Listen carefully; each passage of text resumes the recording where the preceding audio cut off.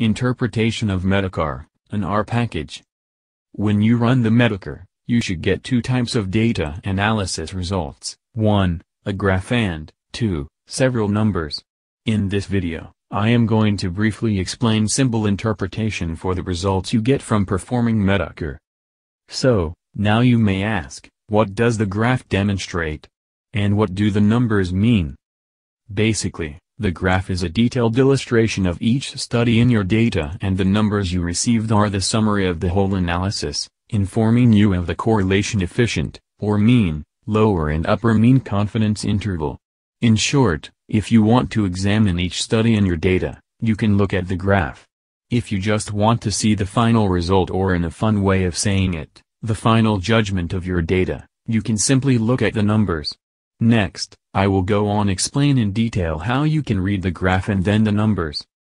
First, let us have a look at the graph. The horizontal axis of the diagram ranges from minus 1 to plus 1, which represents the strength of your correlations.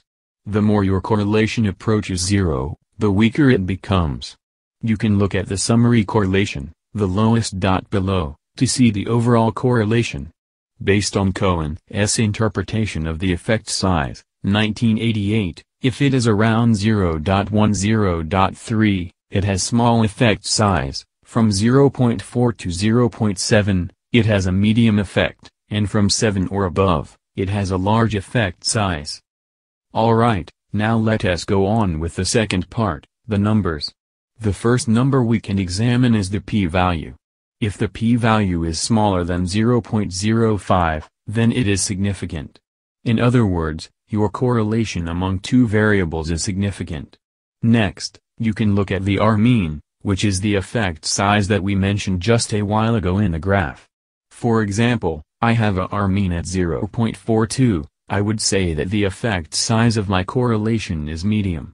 What about the R-mean lower and R-mean upper?